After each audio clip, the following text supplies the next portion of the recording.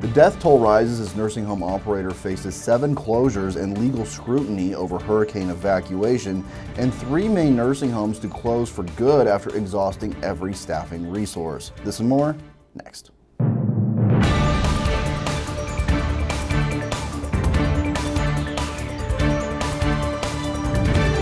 You're watching LTC News with Dane Henning. Welcome to CNA TV Long Term Care News. I'm Dane Henning. Today is Wednesday, September 8th, 2021.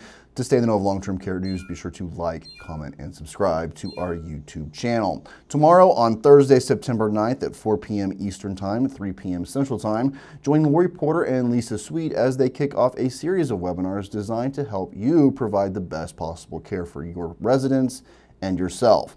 Registration information is posted on NAHCA's Facebook page. Seven nursing home residents have now died after being shipped to a warehouse in advance of Hurricane Ida, and Louisiana officials have ordered the temporary closure of the seven nursing homes where they lived. The developments came as state and local agencies tussled over who would investigate the deaths and the decisions that led up to them. Health officials at multiple sites also were concerned about the spread of infectious disease, including COVID 19, after patients had been kept in close quarters with little or no apparent infection prevention efforts.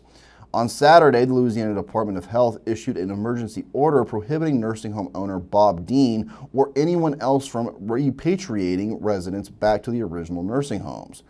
It will remain in effect for all seven nursing homes through at least September 10th or until health department can finish a full investigation of the evacuation. Outrage at the evacuation's failed execution mounted through the weekend as more details emerged and the death toll mounted.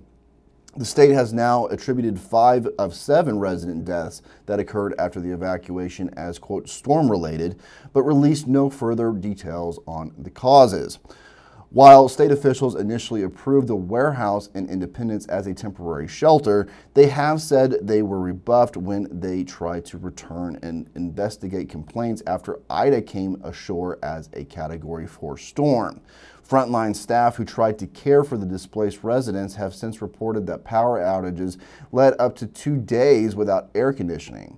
Video also showed water had infiltrated the building at some point, covering parts of the concrete floor where mattresses were arranged close together. Three rural Maine nursing homes announced their pending closures this week, all of them citing staffing challenges and the ongoing pandemic. Officials at the 38 bed nonprofit Island Nursing Home in Deer Isle on Monday used social media to announce they would close at the end of October after 40 years in business. That news was followed in quick succession by similar announcements from two more rural providers. Country Manor Nursing Home in Coopers Mills with 30 beds and the 21 bed Somerset Rehabilitation and Living Center in Bingham. Both facilities have informed the state about their plans.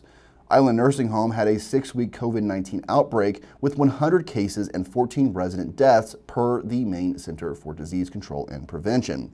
Quote, this has taken an unbelievable emotional toll on the staff who are there, said Jess Maurer, Executive Director of the Maine Council on Aging. Jess continued, across the whole state, we're seeing staff vaccinated or not walking away from their jobs. For its part, Island Nursing Home's board of directors says, quote, there are simply not enough qualified staff available in a rapidly declining healthcare workforce. We have spent months exhausting every staffing resource at our disposal, and beginning this fall, we will no longer be able to meet our minimum staffing requirements. Island Nursing also blamed its inability to attract new staff on its remote location, Maine winters, and the lack of affordable housing near their facility. Country Manor managers said that they will close because of declining occupancy and staffing shortages, and the fact that six direct care and nursing employees out of 58 total said they would not be vaccinated against COVID 19. Maine's healthcare staff vaccine mandate goes into effect on October 1st. This has been your long term care news update. Everyone, have a wonderful week, and I'll see you on Wednesday.